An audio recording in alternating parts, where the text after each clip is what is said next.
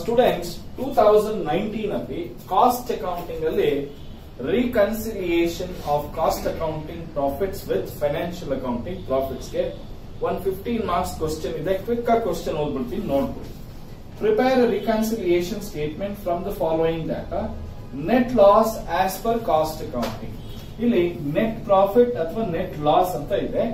Net profit ಅಥವಾ net loss ಅಂತ ಇದೆ.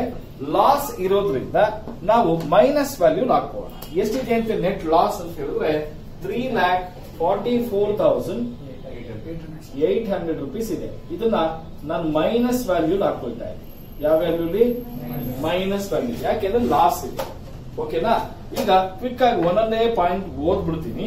ಆಮೇಲಿಂದ ಸೊಲ್ಯೂಷನ್ ನೀಟಾಗಿ ಮಾಡೋಣ. Works overhead under recovered in cost accounting depreciation overcharged in cost accounting, administration overhead recorded in excess in cost accounting, interest on investment, goodwill written off, income tax paid, stores adjustment credit, depreciation stock charged in financial balance, books, selling overhead over recovered in cost accounting, notional rent charged in cost accounting, value of closing stock in cost accounting, value of closing stock financial accounting, interest on loan charged in financial accounting. ಇಷ್ಟು items ಇದೆ. ಈಗ ನಾವು loss as per cost accounting ಹಾಕೊಂಡಿದ್ದೀವಿ ಓಕೆನಾ ನಮಗೆ ಏನು ಇಲ್ಲ. ನಮಗೆ loss ಅಂತ ಅನ್ಕೋಬೇಡಿ. ಪ್ರಾಫಿಟ್ ಇದೆ ಅಂತ ಅನ್ಕೊಂಡೆ ಸೇಮ್ ಆಡ್ ಲೆಸ್ ಪಾಯಿಂಟ್ಸ್ನ ಹಾಕೋಣ ಆಯ್ತಾ?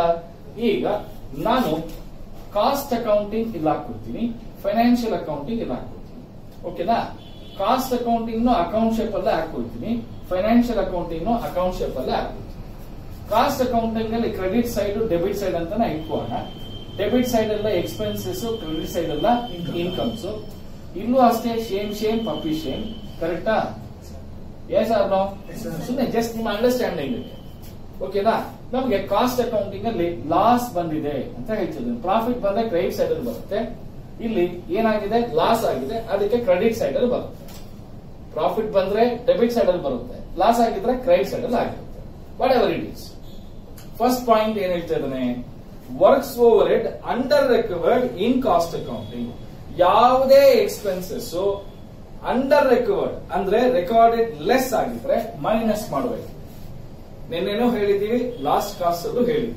ಕರೆಕ್ಟಾ ಎನಿ ಎಕ್ಸ್ಪೆನ್ಸಸ್ ರೆಕಾರ್ಡೆಡ್ ಲೆಸ್ ಕಡಿಮೆ in cost accounting will take it in the less item ಏನಂತ ಬರಿತೀವಿ? Works overhead overhead under recorded in cost accounting amount ಎಷ್ಟಿದೆ ಹೇಳಿ? ಟೂ ಫಾರ್ಟಿ ಓಕೆನಾ ನೆಕ್ಸ್ಟ್ ಪಾಯಿಂಟ್ ಬರೋಣ. Depreciation overcharge in cost accounting ನೋಡಿ cost accounting ಅಲ್ಲಿ ಯಾವುದೇ ಎಕ್ಸ್ಪೆನ್ಸಸ್ ಜಾಸ್ತಿ ರೆಕಾರ್ಡ್ ಮಾಡಿದ್ರೆ ಆಡ್ ಮಾಡಿ. ಕಡಿಮೆ ರೆಕಾರ್ಡ್ ಮಾಡಿದ್ರೆ ಲೆಸ್ ಮಾಡಿ ಅರ್ಥ ಆಗ್ತಿದ್ಯಾ ಅರ್ಥ ಆಯ್ತಾ?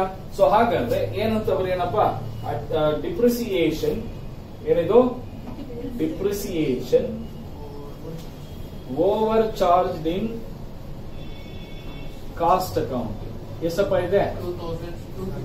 Two thousand six hundred next point ನೋಡೋಣ.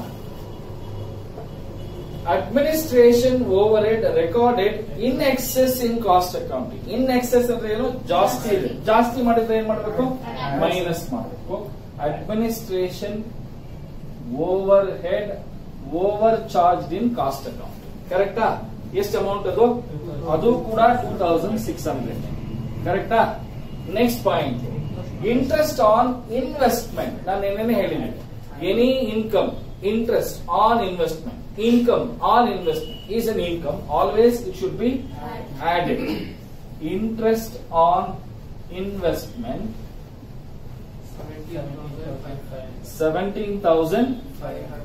17500 ಓಕೆನಾ ನೆಕ್ಸ್ಟ್ ಪಾಯಿಂಟ್ ಬರೋಣ. ಗುಡ್ ವಿಲ್ ರಿಟರ್ನ್ ಆಫ್ ನಾನು ನಿನ್ನೆ ಹೇಳಿದ್ದೆ ಗೊತ್ತಾ? ಪ್ರಾಫಿಟ್ ಅಂಡ್ ಲಾಸ್ ಅಕೌಂಟ್ ಅಲ್ಲಿ goodwill written off preliminary expenses under commission discount on issue ಹೌದಾ? ಇವೆಲ್ಲ ಕೊಟ್ಟಿದ್ರೆ ಫೈನಾನ್ಷಿಯಲ್ ಅಕೌಂಟಿಂಗ್ ಅಲ್ಲಿ ಮಾತ್ರ ಇರುತ್ತೆ. ಕಾಸ್ಟ್ ಅಕೌಂಟಿಂಗ್ ಅಲ್ಲಿ ಇರಲ್ಲ. ಅಂತವೆಲ್ಲ ಏನ್ ಮಾಡ್ಬೇಕು? ಲೆಸ್ ಮಾಡಬೇಕು. ಯಾಕೆಂದ್ರೆ ಎಕ್ಸ್ಪೆನ್ಸಸ್ ಏನೂ ಇರಲ್ಲ. ಸೊನ್ನೆ. ಇಲ್ಲಿ ಎಕ್ಸ್ಪೆನ್ಸಸ್ ಇದೆ. ಕಡಿಮೆ ಅಥವಾ ಸೊನ್ನೆ. Always should be deducted so goodwill written off ಏನಂತ ಇದೆ ಎಷ್ಟಪ್ಪ ಇದೆ? Eleven four hundred very good next point income tax paid ನೋಡಿ ಇನ್ಕಮ್ ಟ್ಯಾಕ್ಸ್ ಪೇಡ್ ಅಂತ ಸಿ ನಲ್ಲಿ ಇರಲ್ಲ. ಓಕೆನಾ ಇದು ಕೂಡ ಒಂದು ಪಾಯಿಂಟ್ ಆಡ್ ಮಾಡ್ಕೊಳ್ತೀನಿ. ಯಾವ್ದಿದು ಇನ್ಕಮ್ ಟ್ಯಾಕ್ಸ್ ಪೇಡ್ ಎಷ್ಟಪ್ಪ ಇದೆ amount eighty thousand six hundred income tax paid eighty thousand six hundred next point ಏನಪ್ಪ? ಸ್ಟೋರ್ಸ್ ಅಡ್ಜಸ್ಟ್ಮೆಂಟ್ ಕ್ರೆಡಿಟ್ ಕ್ರೆಡಿಟ್ ಅಂದ್ರೆ ಇದ್ರೆ ಏನು ಇನ್ಕಮ್ ಕರೆಕ್ಟಾ ಸ್ಟೋರ್ಸ್ ಅಡ್ಜಸ್ಟ್ಮೆಂಟ್ ಕ್ರೆಡಿಟ್ ಎಷ್ಟು amount nine fifty rupees next point depreciation of stock charge in financial ನೋಡಿ ಯಾವುದೇ expenses financial accounting ಅಲ್ಲಿ ಮಾತ್ರ ಮಾಡಿದ್ರೆ ಅವನ್ನೆಲ್ಲ ಏನ್ ಮಾಡಬೇಕು? ಮೈನಸ್ ಮಾಡಿ. ಅರ್ಥ how it is goodwill return of same ಓಕೆನಾ ಡಿಪ್ರಿಸಿಯೇಷನ್ ಆನ್ ಸ್ಟಾಕ್ ಎಷ್ಟು thirteen thousand five hundred next point selling overhead over recorded over ಅಂದಿದ ತಕ್ಷಣ ಏನ್ ಮಾಡಬೇಕು? ಆಡ್ ಮಾಡಬೇಕು. Selling overheads over recorded in C eight thousand two fifty next point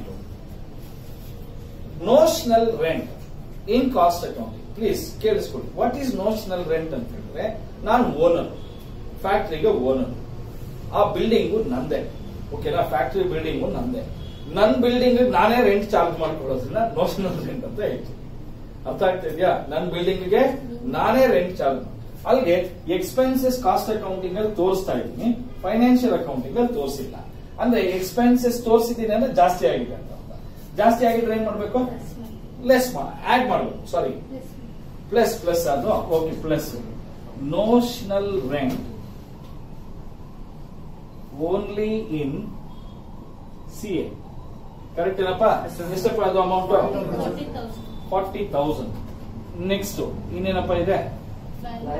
Value of closing stock cost accounting ಅಲ್ಲಿ, ನೋಡಿ closing stock ಎಷ್ಟಿದೆ?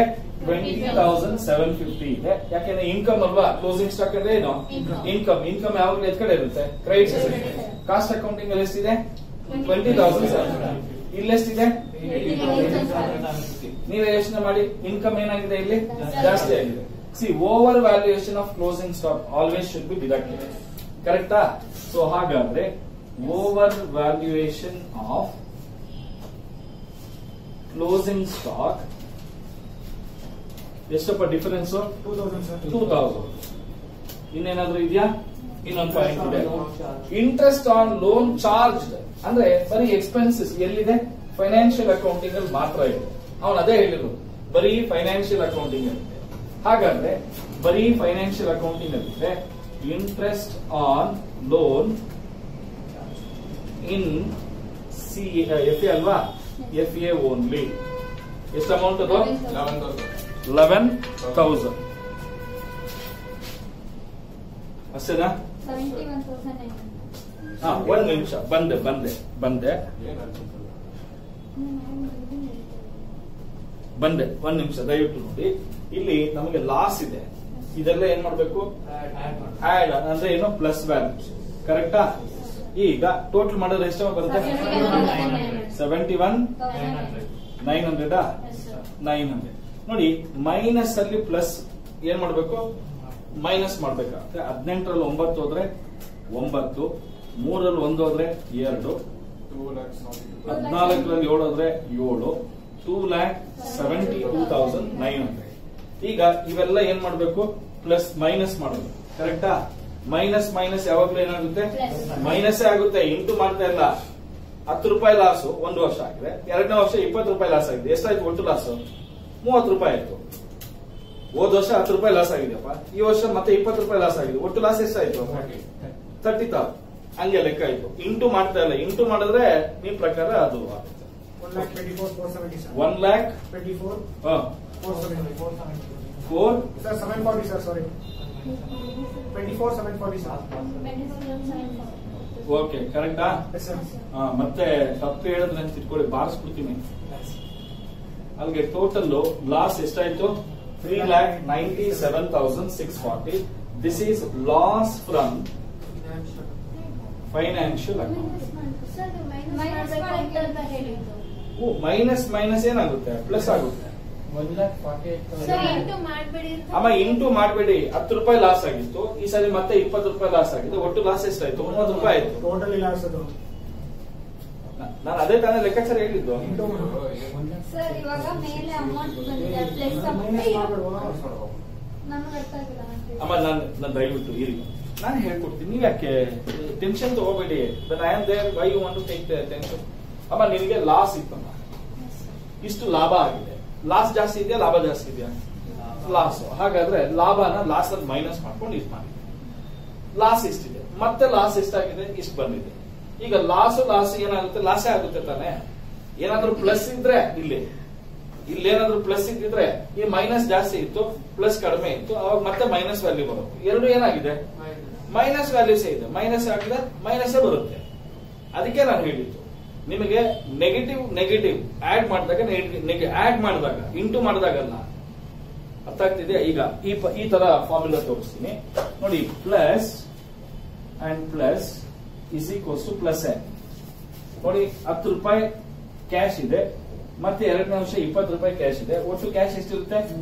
ಮೂವತ್ತು ರೂಪಾಯಿ cash ಇರುತ್ತೆ. ಇಲ್ಲಿ ಇಪ್ಪತ್ತು ರೂಪಾಯಿ ಕ್ಯಾಶ್ ಇದೆ ಓಕೆನಾ ಪ್ಲಸ್ ಹತ್ತು ರೂಪಾಯಿ ಮೈನಸ್ ಆಗಿದೆ, ಈಗ ಒಟ್ಟು ಕ್ಯಾಶ್ ಎಷ್ಟಿರುತ್ತೆ? ಪ್ಲಸ್ ಹತ್ತು ರೂಪಾಯಿ ಇರುತ್ತೆ. ಯಾಕೆಂದ್ರೆ ಇಲ್ಲಿ ಪ್ಲಸ್ ಇಪ್ಪತ್ತು, ಇಲ್ಲಿ ಮೈನಸ್ ಹತ್ತು ಇಲ್ಲಿ ಹತ್ತು ರೂಪಾಯಿ ಇರುತ್ತೆ. ಈಗ ಇನ್ನೊಂದು ಫಾರ್ಮುಲಾ ಹತ್ತು ಪ್ಲಸ್ ಹತ್ತು. ಈಗ ನೋಡಿ ಪ್ಲಸ್ ಇಂಟು ಮೈನಸ್ ಏನಾಯ್ತು? ಮೈನಸ್ ಮೈನಸ್ ಅಂದ್ರೆ ಮೈನಸ್ ಹತ್ತು ರೂಪಾಯಿ ಮೈನಸ್ ಹತ್ತು ರೂಪಾಯಿ. ಎಷ್ಟಾಯ್ತು? ಮೈನಸ್ ಇಪ್ಪತ್ತು ರೂಪಾಯಿ ಅರ್ಥ ಆಗ್ತಿದ್ಯಾ? ಇದು ಅಡಿಷನ್ ರೂಲ್ ಇದೇನಿದು? ಅಡಿಷನ್ ರೂಲ್ ಸಬ್ಟ್ರಾಕ್ಷನ್ ರೂಲ್ ಅಲ್ಲ. ಅರ್ಥ ಆಗ್ತಿದ್ಯಾ? ಸೊ ಇದು ಪ್ರಾಬ್ಲಮ್ ಇರ್ತದೆ ಇಲ್ಲ ಅಂದ್ರೆ ನಿಮ್ಗೆ ಕಣ್ಣು ಮುಚ್ಕೊಂಡು ಕಣ್ ತೆಗೆಯೋದ್ರಲ್ಲಿ ಮಾಡ್ಬೇಕು ಅಂದ್ರೆ, ಕಣ್ಣು ಮುಚ್ಕೊಂಡು ಕಣ್ ತೆಗಿ ಒಳಗಡೆ ಮಾಡ್ಬೇಕು ಅಂದ್ರೆ, ಇಲ್ಲಿ ಮೈನಸ್ ಜಾಸ್ತಿ ಇದೆ ಅಲ್ವಾ? ಇಲ್ಲಿ ಪ್ಲಸ್ ಕಡಿಮೆ ಇದೆ ಮೈನಸ್ ಹಾಕೊಳ್ಳಿ ಇಲ್ಲಿ ಏನಿದೆ ಮೈನಸ್ ಇದೆ. ಲೆಸ್ ಇದೆ ಮೈನಸ್ ಇದು ಮೈನಸ್ ಇದು ಮೈನಸ್ ಅದಕ್ಕೆ ಇದು ಮೈನಸ್ ಓಕೆನಾ ಇವೆರಡು ಆಡ್ ಮಾಡಿ. ಯಾಕೆಂದ್ರೆ ಎರಡು ಏನಾಗಿದೆ? ಮೈನಸ್ ಇದೆ. ಅದಕ್ಕೋಸ್ಕರ.